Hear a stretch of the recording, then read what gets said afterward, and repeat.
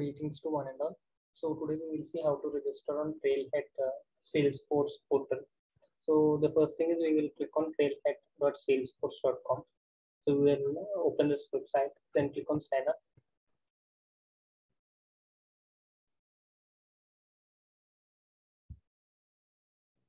So this is the page that we will be able to see.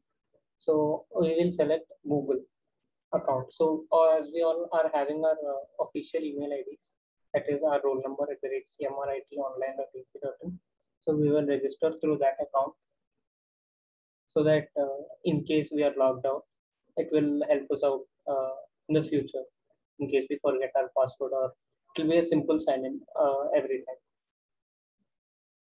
So I selected my account. So these details will automatically get filled in our first and last names. And then we can customize our profile you added. So we should keep this public profile switch in the on position. So it is uh, for the other people, let's say your friends or let's say our TPO to just verify your uh, profile. So it is very simple. Like suppose if I type this trailblazer.me slash ID slash your uh, profile link, I will be able to see all your achievements. So we will have a look at that. So we will click on next.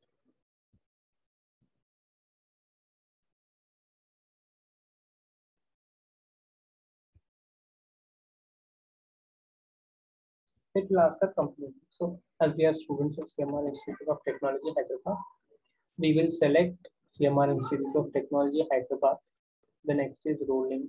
We are a student relationship to the Salesforce. We are not a customer, a prospect.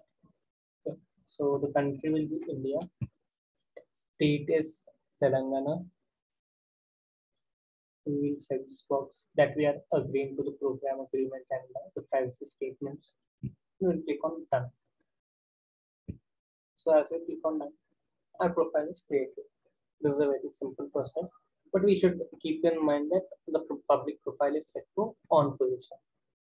So that next we will uh, go ahead with these modules and others to get the Hiker rank.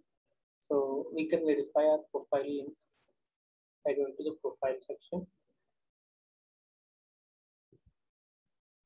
So as you see, this is the uh, ID of mine. Suppose, let's say uh, particular user or maybe for uh, other purposes they want to verify your profile they will just click on uh, they will just open their browser okay and they will type trailblazer.me and your file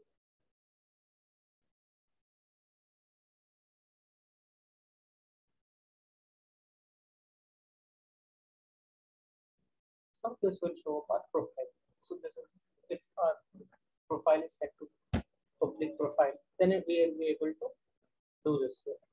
So uh, as and when uh, we complete our courses and we earn badges, we will get everything here visible on the public profile. So please remember to keep it on. Uh, thank you and happy